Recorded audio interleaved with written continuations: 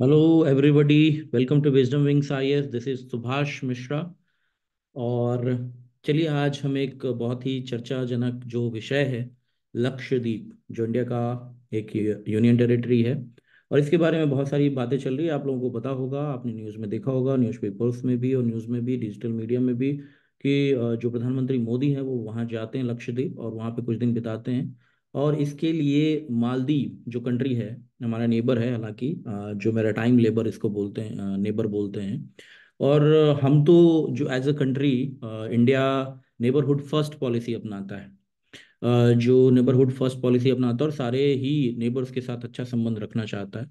और हम कभी भी कोताही नहीं करते हैं कि ये हिंदू कंट्री है, ये मुस्लिम कंट्री है इंक्लूडिंग पाकिस्तान के साथ भी कई बार हमने अपना दोस्ती का हाथ, जो अमन का हाथ है, वो बढ़ाया है, आपको पता होगा।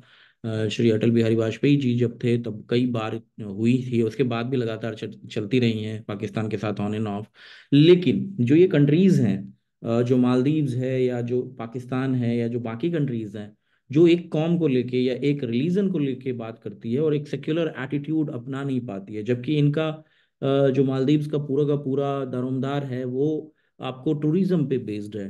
It is based on tourism और इंडियन सबसे ज़्यादा हैं अगर देखा जाए जो नियर बाय ट्रैवलर्स में वो मालदीव जाते हैं। वैसे तो पूरी दुनिया के लोग वहाँ आते हैं, लेकिन मालदीव्स में इंडियंस बहुत ही मात्रा में, बहुत ही संख्या में जाते हैं। तो जो हमारा लक्षद्वीप है, वो इंडियंस के लिए और बाकी लोगों के लिए भी पूरे वर्ल्ड के लिए नॉर्मली ओपन नहीं है। वहाँ पे बहुत सारी चीज़ें आप जा भी सकते हैं। आपको परमिट दिया भी जा सकता है, लेकिन कम्प्लीटली ओपन नहीं है कि आप वहाँ टूरिज़्म के लिए और कंप्लीट कनेक्टिविटी भी नहीं है। तो लेकिन ये जो अभी आइलैंड चर्चा में है तो इसके लिए हम ये बातें करेंगे कि किस तरीके से ये आइलैंड इंडिया में इंक्लूडेड है और इसमें क्या क्या जोग्राफिकली हिस्टोरिकली और किस तरीके से प्लेस के बारे में एडमिनिस्ट्रेशन के बारे में क्या क्या चीज़ें इसमें हैं। तो चलिए एक्सप्लोर करते हैं कि इसका जो एक हिस्ट्री है, वो बहुत ही रिच हिस्ट्री है जियोग्राफी बहुत ही मैसमराइजिंग है और यूनिक एडमिनिस्ट्रेटिव सेटअप है लक्षद्वीप का जो हमारा आइलैंड है और ये बहुत सारे आइलैंड से मिलकर बना हुआ है।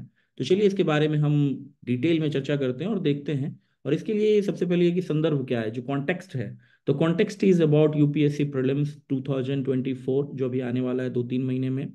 और यूपीपीसीएस जो प्रीलिम्स आने वाला है डिफरेंट डिफरेंट तरीके के बीपीएससी के जो आगे सेवेंटियथ एग्ज़ाम आने वाली हैं आपकी बीपीएससी सेवेंटियथ सत्तरवीं बीपीएससी उसमें भी आपको प्रीलिम्स में ये क्वेश्चंस पूछे जाएँगे। लक्षद्वीप के बारे में और Indian tourism in islands in India वो क्यों नहीं डेवलप हो पा रहा है, उसके लिए क्या क्या कदम लेने चाहिए भारत सरकार को और जो नेबरहुड फ़र्स्ट पॉलिसी है, उसमें क्या जो रीअलाइनमेंट है वो माँगता है और किस तरीके से हम मैराटाइम में भी मैराटाइम डिप्लोमेसी के साथ साथ अपने जो हमारे जो आइलैंड्स हैं, उसको हम कैसे बढ़ावा दे सकते हैं, इसके बारे में आपको मेंस में भी पूछा जाएगा। यूपीएससी का मेंस, यूपीपीसीएस का मेंस, बीपीएससी का मेंस, उसमें ये पूछा जा सकता है, राइट? तो ये बहुत ही प्रोमिनेंट क्वेश्चन है, क्योंकि जो बहुत ही ज़्यादा चर्चा में रहता है, उसके बारे में भी इंटरनेशनल रिलेशंस में क्वेश्चन आते हैं।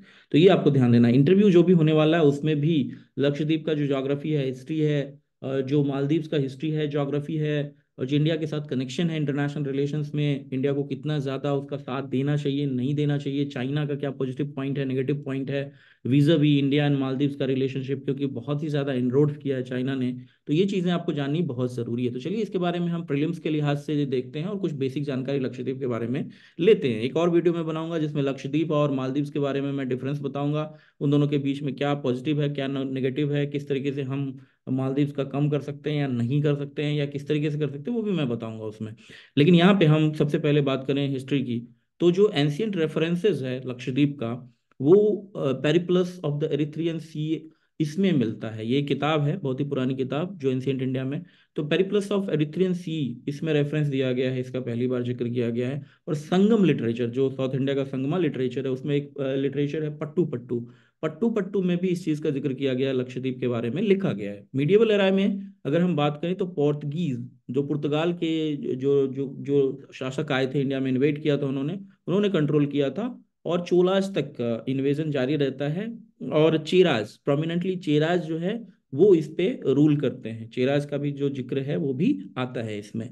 जो आपका मेन रूल है इंडियन ओशन में वो लक्षद्वीप का ओ, ओ, इंडियन ओशन कॉमर्स के लिए जो कॉमर्स होता था हमारा चाहे वो यूनान के साथ हो चाहे वो जो हमारा दूसरे देशों के साथ हो तो वो लक्षद्वीप के थ्रू ये देखने में आता है कि लक्षद्वीप के थ्रू भी हो रहा था एंशियंट एंड मिडिएबल इंडियाज में। ठीक है इंडिया में। कॉलोनियल इन्फ्लुएंस क्या है? पोर्टुगीज का ऑक्यूपेशन होता है वास्को डिगामा यहाँ पे अराइवल करते हैं।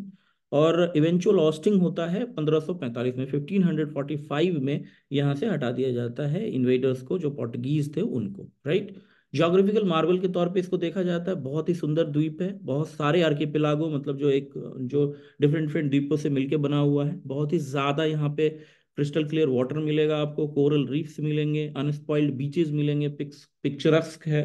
नेचुरल uh, डाइवर्सिटी की अगर हम बात करें कि आर्किपेलागो जो कि बहुत सारे द्वीपों से मिलकर बना हुआ उसमें एटॉल्स मिल जाएगा रीफ मिलेगा सबमर्ज्ड बैंक्स मिलेंगे और डाइवर्स इकोलॉजिकल वंडर्स जो है यहाँ पे देखने को मिलेगा।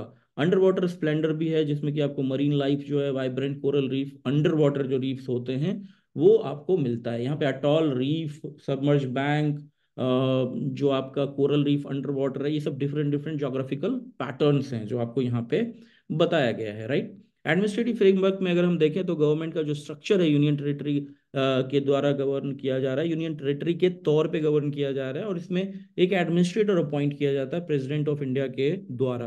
तो वो वहाँ पे एडमिनिस्ट्रेटर के तौर पे काम करते हैं राइट यूनियन टेरिटरी जो कंप्राइज कर रहा है, यहाँ पे 11 सब डिवीज़न किए गए eleven sub division are there with specific administrative oversight क्योंकि ये डिफरेंट डिफरेंट जो सब डिवीज़न होते हैं, उसमें डिफरेंट डिफरेंट निकाय होती हैं जो काम करता है, जो एडमिनिस्ट्रेटिव बॉडीज होती हैं, वो काम करती हैं। जुडिशियल सिस्टम क्या है? यूनियन डिस्ट्रिक्ट यूनियन टेरिटरी जो आपको करस्पॉन्ड करता है केरला हाईकोर्ट कोच्चि में जो है, वो इसका देखरेख करती है, उसके बेंच के अंदर आता है। लक्षद्वीप पुलिस जो आती है, वो एडमिनिस्ट्रेटर के अंदर इंस्पेक्टर जनरल के तौर पे काम करती है। पॉलिटिकल रिप्रेजेंटेशन अगर हम देखें तो यहाँ पे एक मेंबर लोकसभा से रिप्रेजेंट करती है।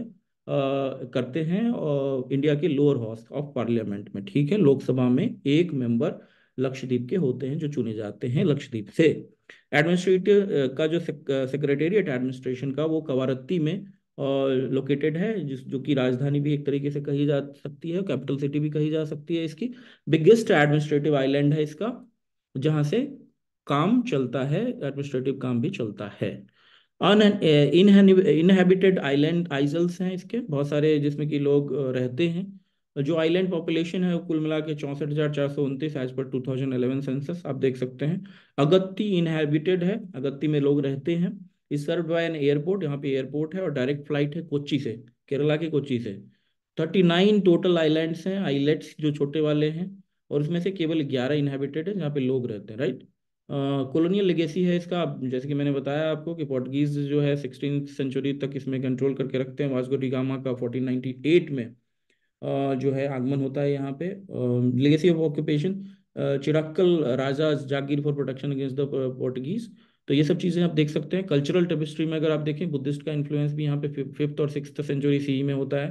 और चेरामन पेरुमल का जो नेगेटिव है वो यहाँ पे बताता है कि इस्लाम का हिस्ट्री है केरला में। हम्म। डाइवर्स हेरिटेज आपको मिल सकता है यहाँ पे एक्वेटिक हैबिटेट्स हैं और यूनिक बिहेवियर है ट्रॉपिकल फिशेज का यहाँ पे ठीक है? हम्म, इसके बाद अगर मॉडर्न गवर्नेंस की बात करें तो करंट एडमिनिस्ट्रेशन में प्रफुल्ल खोड़ा पटेल जो हैं वो यहाँ के एडमिनिस्ट्रेटर हैं जो कि जैसे मैंने बताया आपको कि प्रेसिडेंट ऑफ़ इंडिया के द्वारा अपॉइंट किए गए आइलैंड का डिस्टिंक्शन है वो archipelago with several uninhabited islands and atoll oriented in the north east and south west direction तो आपको ये देखने को मिलेगा कि नॉर्थ ईस्ट और साउथ वेस्ट डायरेक्शन में डिफरेंट डिफरेंट तरीके से ये होता है, ठीक? तो ये डायरेक्शन आप देख सकते हैं रीजन जो है कॉरेस्पॉन्ड करता है केरला हाई कोर्ट का कोची में और वो एक मेंबर वहाँ से चुना जाता है मॉडर्न गवर्नेंस में। तो ये सारी चीज़ें यहाँ पे रिवाइज करने लायक चीज़ें हैं।